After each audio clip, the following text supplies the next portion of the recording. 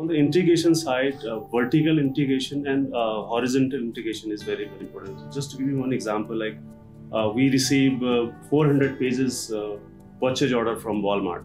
So for the merchants, like they takes two, three days just to categorize shipping to 60 countries. So how can we optimize that?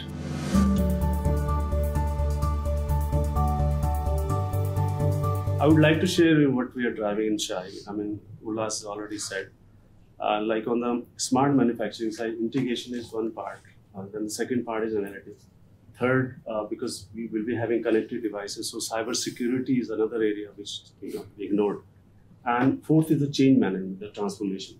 So textile and the garmenting is another, you know, the special uh, category where I mean you can consider it as a unorganized sector where one way uh, the people who are uh, communicating to the customers like Walmart and Zara and uh, you know that way, and we also have another category which is you know, most of the blue collar blue collar employees.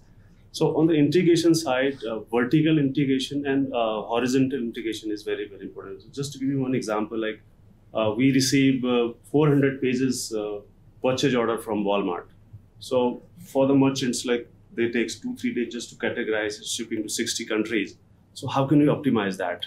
So using the technology, we are able to convert the whole purchase order within two, within two minutes, like it is converted. So it's about the optimizing the whole uh, processes and Right also process. the Right another processes, yeah also. yeah.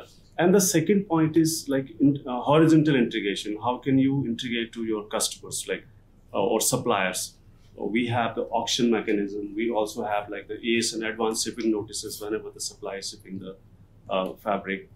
Uh, analytics part is also very very important. Where uh, if you are thinking like production area, uh, if you are using we have POC stage where we are going to use RFID devices and connecting like sewing machines, which can talk about predictive maintenance. So how we are going to accumulate the data and, and take inside of that part. And thirdly, the security part is also very very important. Like have the right connectivity, right uh, security mechanism, because we also got uh, attacks from the you know the um, I mean hackers and a lot of people are also so your important data somebody uh, uh, ransomware is attacked and their important data is converted so you also need to take care of that part. And fourth part like we recently implemented G Suite so 8000 employees are you know working uh, from shifting from your outlook to uh, chrome based uh, email so it is it was very difficult for them to understand like uh, you know it's it's a complete change management.